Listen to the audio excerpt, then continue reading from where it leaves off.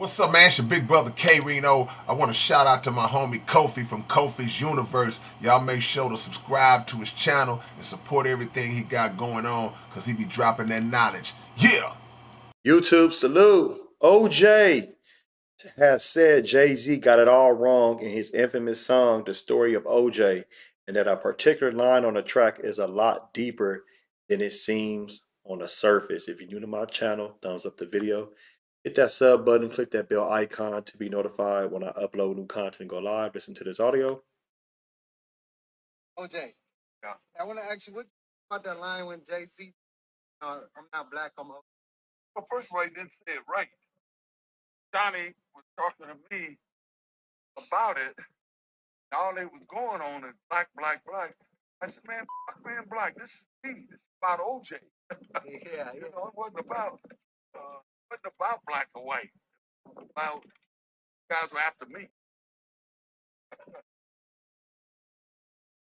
That's that's how that was expressed. It wasn't I'm not black. It ain't about being black. It's about me.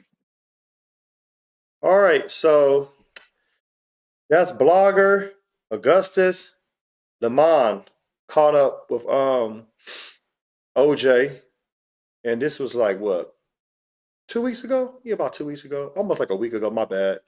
So he asked him about I'm not black, I'm OJ.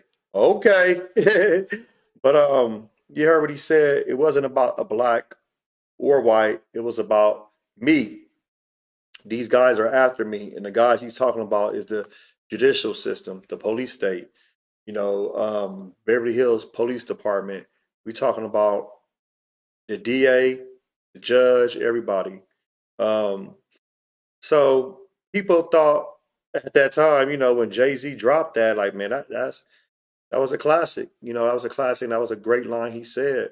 I think oj is um miseducated on this situation is yes it was about you but you was you were a black man. Think about it. You was with a white woman and you already know how they feel about black men dating white women they frown upon interracial um, dating. Oj if you look at history as far as in american history when you think about the transatlantic slave trade when you think about how slavery built this country and when white women would have sex with enslaved Africans on the plantation behind their husband's back, which are the slave owners, you know, if they got caught, the white woman would lie. What's going to happen? Okay, he's going to get castrated, lynched. Think about that.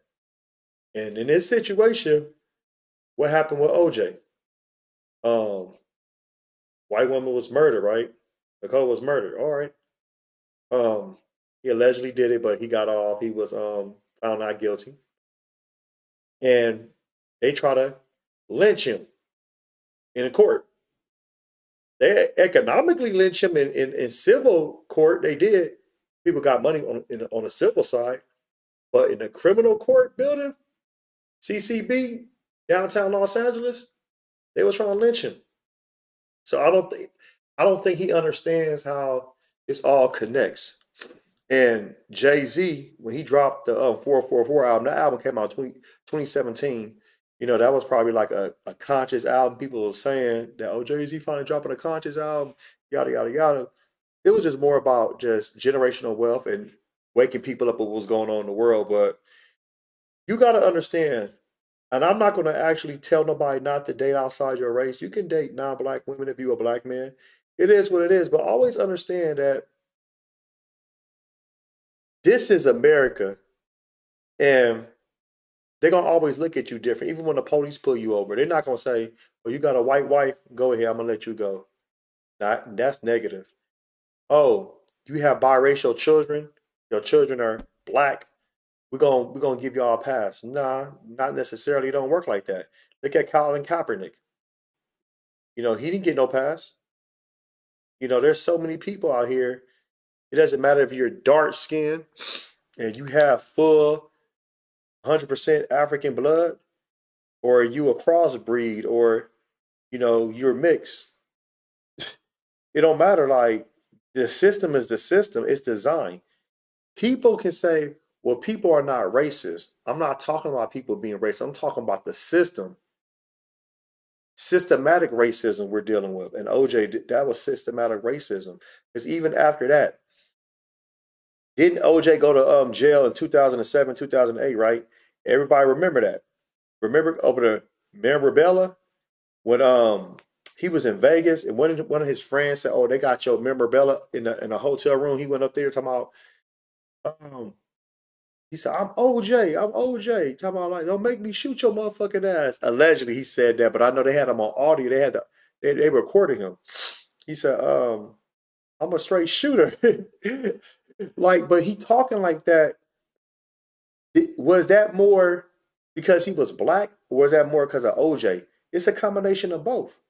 They couldn't catch him for the two the double homicides in, in um in 1994 1995 excuse me 95 96 they couldn't catch him for them double homicides remember okay now they like we got your ass now and we got you on audio making a terrorist threat to somebody in a hotel room you know so it's like they had to do something to him so he can sit here and say oh the system is against me at that time the system is against me this is unfair i'm a black man so was it you a black man or was you oj at the time in 2007 2008 so pick your poison.